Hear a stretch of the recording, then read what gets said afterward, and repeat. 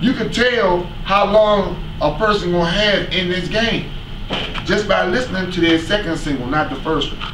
The second one, yeah, we all know the motherfucking first song is a hit, but what this second one gonna be about? That's what I look at.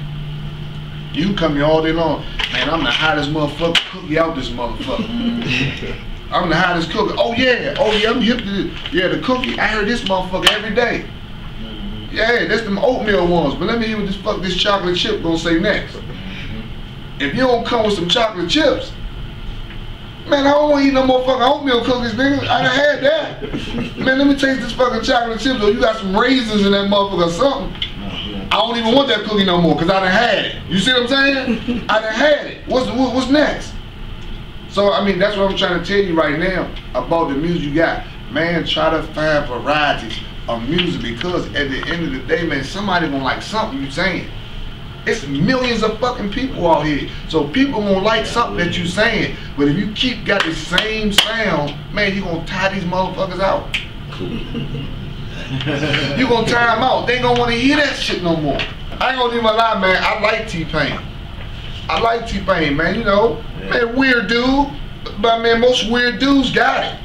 I mean, but he gonna come with some. He can go over here from the street. Then he can take you over here to a booty uh-huh. shaking.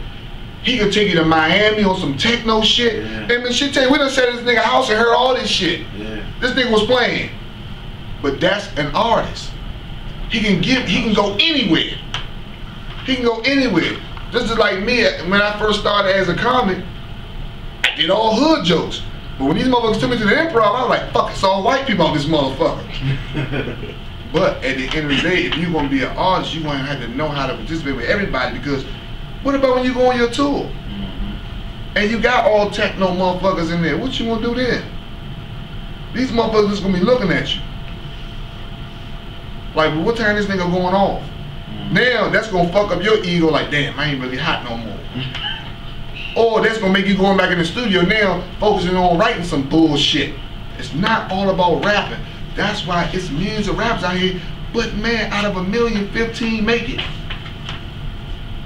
Cause you have to be smart. You come to me and you want me to hear this. You come on, dog. I mean, I, am dealing with no limit. So you're gonna have to come with something. You gonna have to come with something. I can't even sit there with P and say, P, listen to this. That nigga P, man, come on, that shit is bullshit, dog. Man, let's see what the streets got to say about this nigga. I mean, you you got to come with something different. You got to come with something different, man. You got to come with something, man. People gonna be able to really vibe to on your shit, man. I mean, for millions to vibe to. Cause we trying to sell millions. We ain't trying to sell just the niggas in your neighborhood. Cause nine times out of ten, them the niggas gonna be trying to roll with you for free. Mm. Dog, where you gonna be at? You got me on the list? on the list? Nigga, I'm trying to eat, nigga. I can't get this list to the fucking rent company. Hey man, you got your rent money? Nah, but you go to the list. this list of motherfuckers that fuck with me. Yeah, well, I hope that list give you $15 to match up to your fucking rent. So I'm telling you right now, man, you got to learn how to make music for millions, man. Man, y'all got to study. This shit is homework. You got to really study and sit down. It ain't really, really about turning on a track and writing to it. To be honest with you, man, y'all can't even allow yourself to get on anybody's track. If you really respect yourself and, and really look at your craft as being on top, you can't allow yourself just to jump on any fucking body's track. Cause it's free.